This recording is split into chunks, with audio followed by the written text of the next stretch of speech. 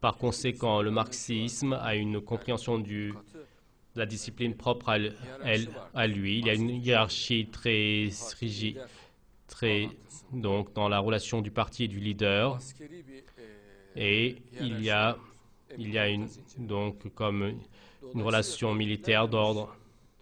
Et pour cette raison, vis-à-vis des autres partis qui ne sont pas organisés, des autres gens, donc pour eux, la lutte organisée est plus avantageuse. Le risque est ici. Et par exemple, dans un quartier comme le peuple ne s'organise pas, il viendra là-bas, par exemple, s'il y a dix communistes organisés, un à un à tout le monde, en faisant de la pression et dans son activité de faire peur et de décourager, il peut se faire de telles choses car la personne est seule.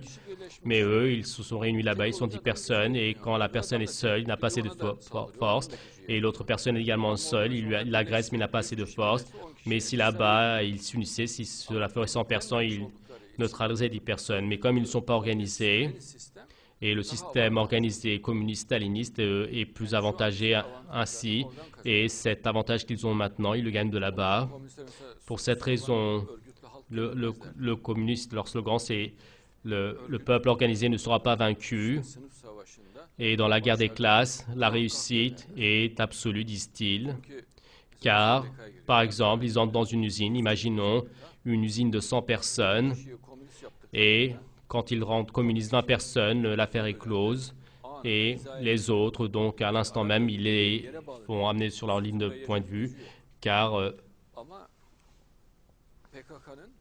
le PKK, la structure staliniste, et a la possibilité de proposer son dos en Russie jusqu'au donc communistes japonais. Ils reçoivent un soutien du Cambodge, du Vietnam, de la Corée du Nord, de partout.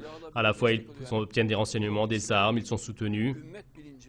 Et donc, il y a une conscience de la communauté chez les communistes, c'est-à-dire chez nous, ce qu'il n'y a pas chez les musulmans, c'est-à-dire ce qui n'existe pas chez les musulmans de maintenant. Chez eux, il y a une grande conscience de communauté qui se soutiennent très bien les uns les autres, qui se soutiennent très bien les uns les autres, et même d'un point de vue euh, matériel et spirituel, et même, si c'est nécessaire, qui mettent leur vie en danger. Et ils sont dans un tel type de procédé. Par exemple, tu regardes à l'intérieur du PKK, le, il y a les éléments de la, Corée du Nord, il y a des éléments syriens, égyptiens qu'on trouve, et même il y a des Américains, il y a des, Anglais, des terroristes anglais parmi eux, et partout ils les soutiennent. Par exemple, Che Guevara, parmi ses amis, il y avait des personnes dans différents pays, de différents pays, et l'organisation communiste sa structure générale est ainsi. Et eux, leur avantage, selon eux, ils l'utilisent. Oui, bien sûr. Les forces communistes, à la fois, donc à la fois le Venezuela et Cuba les soutiennent, mais c'est parce qu'ils sont proches. Et en fait, même la Corée du Nord les. Et les communistes turcs les soutiennent. Et tous les communistes sont en très bonne relation les uns avec les autres et même des communistes en, Angola. Donc nos communistes ici ont été au courant que le gouvernement qui changeait là-bas, il le soutenait d'ici. Il faisait des réunions concernant cela ici, en Turquie. Où est-ce que vous avez vu?